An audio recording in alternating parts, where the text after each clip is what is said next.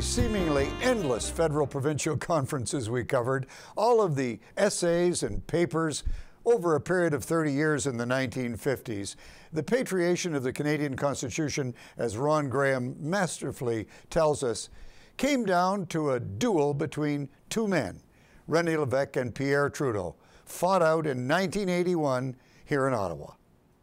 Graham challenges the myth which has long nourished the separatist movement that English speaking Canada ganged up on René Lévesque in the night of the long knives. Instead, Graham draws on new interviews, new research to frame a story that this was a very personal struggle between two remarkable men.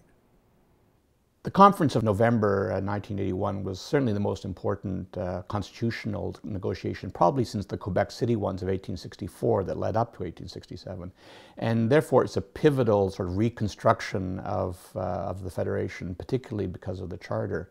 So the challenge was how to make this very arcane and quite complex and very, very uh, intricate uh, subject that, uh, that often elicits a yawn in most Canadians into a really a dramatic narrative and to show that it was important and it is still important.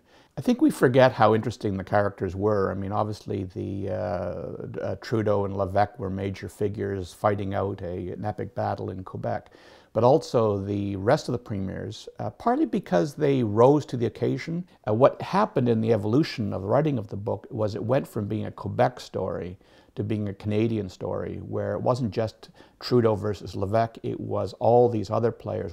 Well, Ron tells a very important story. In his book, he challenges the myth of the Night of the Long Knives, which is so deeply embedded in Quebec, and shows us this epic struggle between Pierre Elliott Trudeau and René Lévesque, uh, the two Quebecers who dominated the history of this country for so long and in such important ways. I felt really when I was writing this that it was very, very important to get it right because uh, would, the this coalition of coalescence of forces probably wouldn't uh, happen again.